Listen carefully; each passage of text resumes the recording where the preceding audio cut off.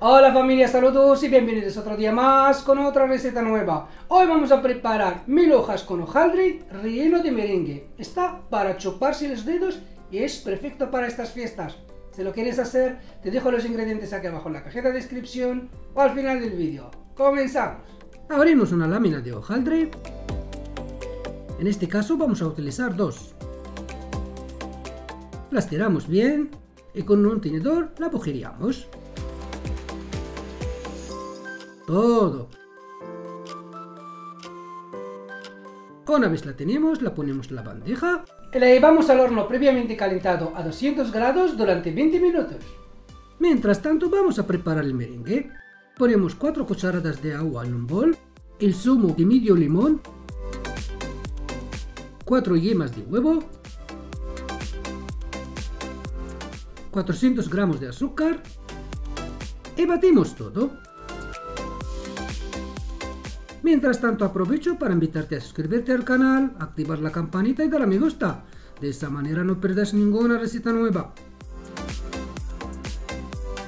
Esto ya está cogiendo volumen. Y ya lo tenemos. Fijaos qué pico. Perfecto. Lo reservamos y vamos al horno.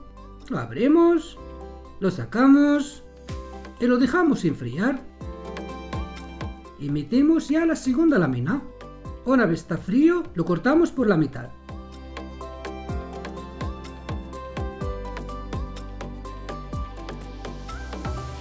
Untamos con cabello de ángel una parte. La cubrimos toda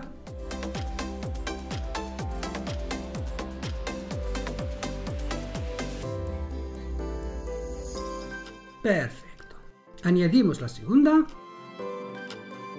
Y añadimos el merengue con la ayuda de la manga pastelera.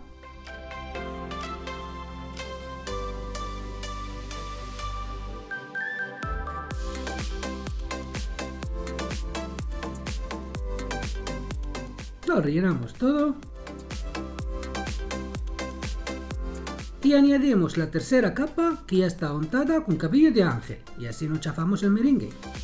Ponemos la cuarta, espolvoreamos azúcar glass,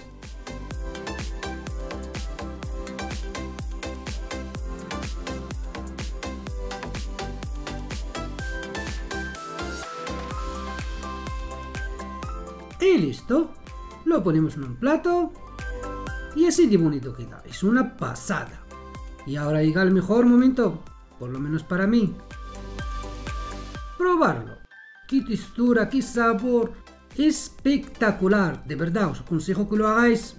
Si te ha gustado la receta de hoy, espero que sí. Dale a me gusta y suscríbete al canal. Con este pequeño gesto me ayudarás a seguir haciendo más vídeos. Hasta la próxima.